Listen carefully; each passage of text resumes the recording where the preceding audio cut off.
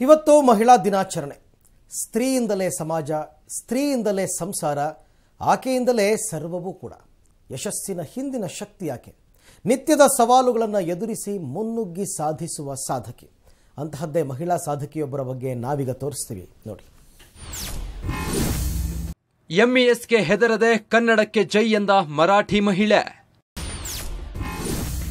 ಭಾಷೆಯನ್ನು ಮೀರಿ ಮಾನವೀಯತೆ ಮೆರೆದ ದಿಟ್ಟ ವೈದ್ಯೆ.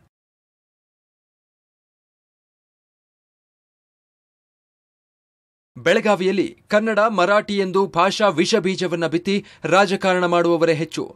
ಇಂಥ ಕೊಳಕು ವಾತಾವರಣದ ಮಧ್ಯೆಯೂ ಕನ್ನಡಿಗರ ಪರವಾಗಿ ನಿಂತ ದಿಟ್ಟೆ ಡಾಕ್ಟರ್ ಅಂಜಲಿ ಜೋಶಿ ಎಂಇಎಸ್ ಬೆದರಿಕೆಗೆ ಅಂಜದೆ ನಲವತ್ತೆಂಟು ವರ್ಷಗಳಿಂದ ಕನ್ನಡಿಗರಿಗಾಗಿ ದುಡಿಯುತ್ತಿರುವ ಧೀರೆ. ತಮ್ಮ ಮೂವತ್ತೈದನೇ ವಯಸ್ಸನ್ನು ಕನ್ನಡವನ್ನ ಕಲಿತು ಕನ್ನಡಿಗರಿರುವ ಹಳ್ಳಿಗಳಿಗೆ ಹೋಗಿ ಆರೋಗ್ಯದ ಅರಿವು ಮೂಡಿಸಿದ್ದಾರೆ.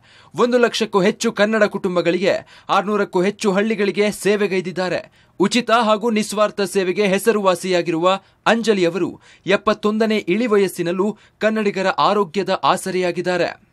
ಎವ್ರಿ ವೀಕ್ ನಾನು ನಲ್ವತ್ ನಲ್ವತ್ತೈದು ವಿಲೇಜಸ್ ಕವರ್ ಮಾಡ್ತಾ ಇದ್ದೆ. ಯಾವಾಗ ನಾನು ಹಳ್ಳಿ ಹೋಗ್ತಾ ಇದ್ದೆ, ಅವಾಗ ಅವ್ರ ಜೊತೆಲಿ ನಾ ಕನ್ನಡ ಮಾತಾಡಿದ್ರು, ಅವ್ರಿಗೆ ಬಹಳ ಖುಷಿ ಆಗ್ತಿತ್ತು. ತೊಂದರೆಗಳು ಏನಿದೆ, ಅದು ಎಲ್ಲ ಗೊತ್ತಾಗಿದ್ಮೇಲೆ ನಾನು ಸರಿಯಾಗಿ ಅವ್ರಿಗೆ ಹೇಳಿದ್ಮೇಲೆ ಅವ್ರಿಗೆ ನಾ ಅವ್ರ ಮನೆ ಒಳಗಿದ್ದಂತ ಒಂದು ತಿಳ್ಕೊತಿದ್ರು. ಹಾ, ಇಷ್ಟು ಕನ್ನಡದು ಬಹಳ ನನಗೆ ಸಹಾಯ ಆಯಿತು ಕನ್ನಡ. ಮತ್ತೆ ನನಗೆ ಬಹಳ ಅಭಿಮಾನ ನಾ ಕನ್ನಡ ಕಲ್ದಿದ್ದೇನೆ ಬಿಕಾಸ್ ಕರ್ನಾಟಕನಲ್ಲಿ ಇರುವಾಗ ನಮಗೆ ಕನ್ನಡ ಬರುವುದಿಲ್ಲ ಅಂದಿದ್ಮೇಲೆ ನನ್ಗೆ ಬಹಳ ನಾಚಿಕೆ ಆಗ್ತಿತ್ತು.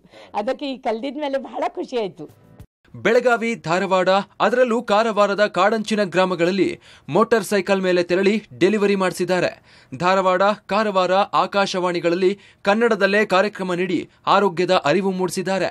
ಕರ್ನಾಟಕ ಸರ್ಕಾರದ ಸಚಿವರು ಜೈ ಮಹಾರಾಷ್ಟ್ರ ಎಂದು ಹೇಳುವ ಇಂಥ ಸ್ಥಿತಿಯಲ್ಲಿ ಇವರನ್ನು ಕಂಡರೆ ಬಹಳ ಹೆಮ್ಮೆ ಅನಿಸುತ್ತದೆ. ಯಾಕೆಂತಂದರೆ ಮೂವತ್ತೈದನೇ ವಯಸ್ಸಿನಲ್ಲೇ ಕನ್ನಡನ ಕಲಿತು ಕನ್ನಡ ಹಳ್ಳಿ ಹಳ್ಳಿಗಳಿಗೆ ಹೋಗಿ ಆರೋಗ್ಯ ಭಾಗ್ಯವನ್ನು ನೀಡಿದಂಥ ಡಾಕ್ಟರ್ ಅಂಜಲಿ ಅವರನ್ನು ಕಂಡರೂ ಕೂಡ ನಿಜಕ್ಕೆ ನಾವು ಹ್ಯಾಟ್ಸಪ್ ಅಂತ ಹೇಳಬೇಕಾಗತ್ತೆ. ಕ್ಯಾಮ್ರಾ ಪರ್ಸನ್ ವಿನಾಯಕ್ ಜೊತೆ ದಿಲೀಪ್ ಪಬ್ಲಿಕ್ ಟಿವಿ ಬೆಳಗಾವಿ